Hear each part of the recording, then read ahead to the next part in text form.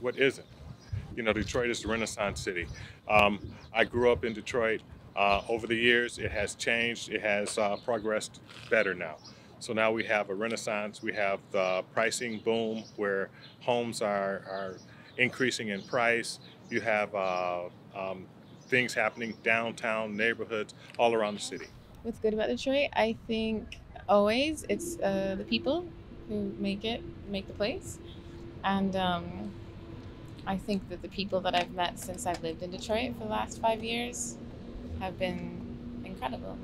So I just moved here a year ago with no friends, didn't know anyone, and my favorite thing has been the ease with which I've been able to form a community here. Uh, yeah, I was thinking the music at first, but the people, you definitely get some good people in Detroit. There's a lot to do. Yeah. Well, nowadays it's growing so much and it's starting to look so beautiful. And there's just so many new things that you can do around here. So I love that. I think it's the people.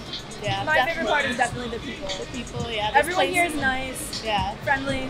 Yeah. There's places to eat, places to party. There's good pubs. You know, it's a lot of fun. we were just we were bored tonight and we just came down here and we're like, oh shoot, look at all this happening.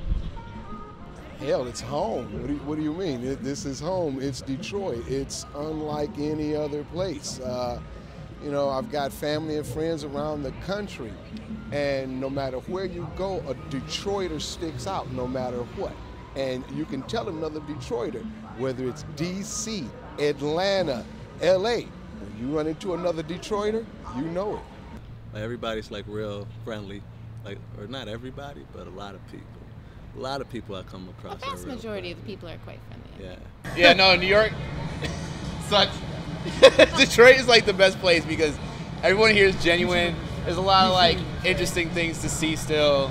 I don't know. It's just like a really raw and like grassroots kind of place still, and there's like a lot of things to do here still. And I don't know. People just people don't see that a lot of the times from the outside perspective. You kind of have to just live here and know where you're, where you're supposed to be going. Building on that, yeah, I think it's really easy to meet people. You can just walk up to people and talk and learn who they are and whatnot. You can't necessarily do that in New York or other bigger cities. And people are really genuine. Yeah, they pretty much like hit Chicago. all the reasons I moved here. Uh, I used to live in Boston.